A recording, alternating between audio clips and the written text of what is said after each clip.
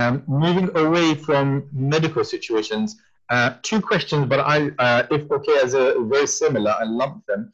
One question is, should I be paying my zakah in the month of Ramadan? And the next question is, how should zakatul mal, zakatul mal be calculated? Okay, so strictly speaking, strictly speaking, you pay zakah when your zakah when it's your zakah date. When your sorry, it's your zakah date. Okay, fine. So when zakah is paid, usually how zakah becomes obligatory upon a person is that there comes a point in their life when they become sahibun nisab, when they when they when the the the amount of money they have in excess of their basic needs or particularly in the Hanafi madhab, the amount of gold or silver they have. Right. Right.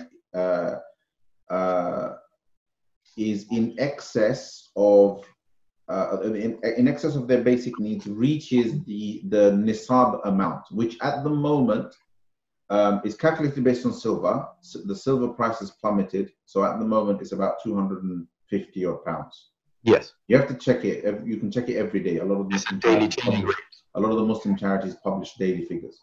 Yeah. Um, so it's about 250 pounds, 240 something actually. The last time I checked, uh, uh, in, in early in Ramadan, and uh, so so as soon as you reach that amount, you now have you you don't yet pay zakat, but you have you've reached the qualifying amount. Then, if a year has passed on, so let's just say, obviously you're going to reach that level at a particular date, right? Yeah right? Um, so let's just say you reach that level on the 10th of December, 2019. Yeah. Yeah.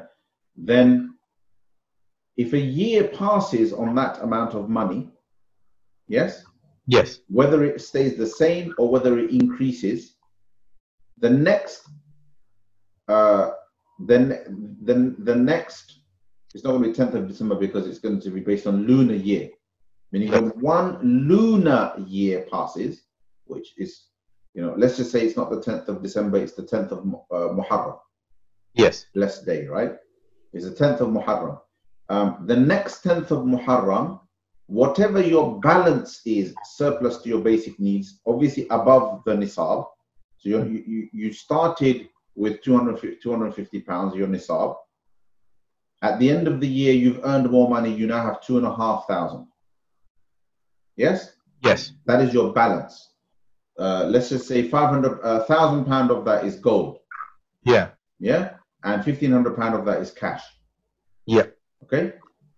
On the next, on that 10th of Muharram, a year after you became in possession of Nisab, you pay two and a half percent on that two and a half thousand pounds. Okay. Right?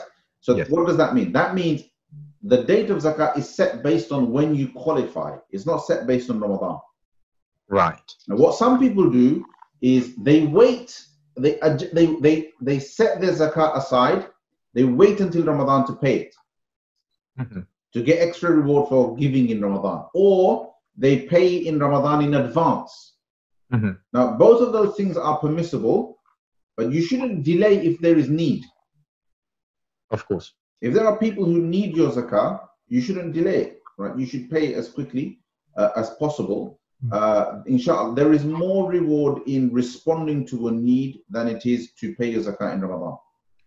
Uh, just to uh, uh, uh sort of allude to that a bit further, Sheikh, when you say need, of course, are we talking about a specified need, for example, a family member, extended person, or? Yeah, so the priorities are, so the way you prioritize is yes. you uh, you you you you go for the nearest and then the nearest, right?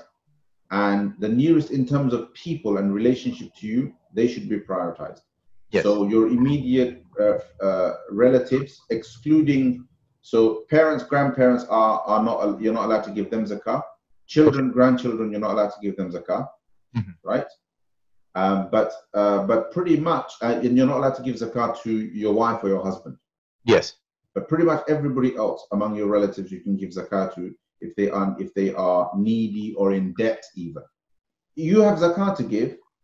Somebody needs it who you normally would give zakat to. What are you going to do? Make them wait for six months? Yes. You have to give it to them when they need it because that is the purpose of zakat. right? If you have the money to give a person and it's needed, you give it based on the need. However, if it also if Ramadan is near or if it, your zakat date happens to be in Ramadan, some people adjust so that they end up paying zakat every year in Ramadan. If that happens to be the case, um, then fine, give it in Ramadan. It's not a problem. Fine. Okay. So it isn't necessary to give in Ramadan. Yes. Okay. So the necessity doesn't exist. Of course, no. as you explained, no. you have to calculate based on uh, the individual's calculations, and of course, uh, as the rest of the uh, uh lunar calendar carries out. and people should, you know, I always say that people often learn about these things in a reactionary way, as mm-hmm. They have the money now, they want to find out about it, which is fine. But because it's one of our fara'id, people should learn in advance so that they so that they know before it suddenly hits them they know. All of our fara'id we have to know about. So obligatory to learn about them beforehand. Okay?